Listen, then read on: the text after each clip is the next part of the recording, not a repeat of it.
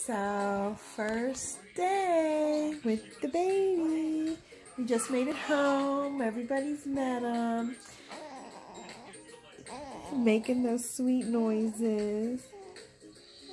So, I uh, got into the tub at 11 o'clock and we had him at 12 11 8 pounds 8 ounces biggest baby 20.75 inches long. His belly is bigger than his head. His head was 14 inches and his belly was 14.5 and he's been a good baby.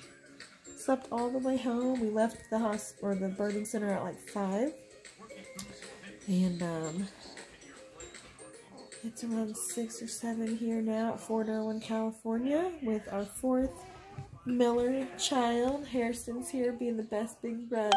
and I lost two teeth. And two teeth. and you played football today?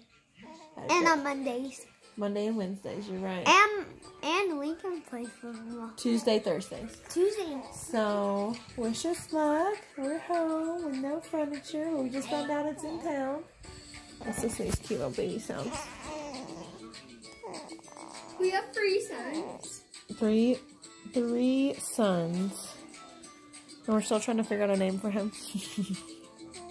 but literally we drove up sunrise and we came back at sunset. Like we have not been gone I guess we left at 6 something, came back at 6, I mean literally like 12 hours. That's it. So it's been wild. And there's Audrey. Audrey.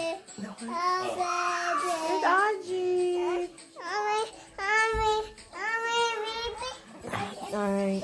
Wish us luck on our first night.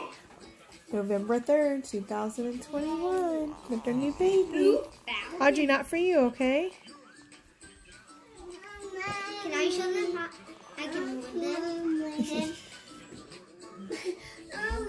Hold on.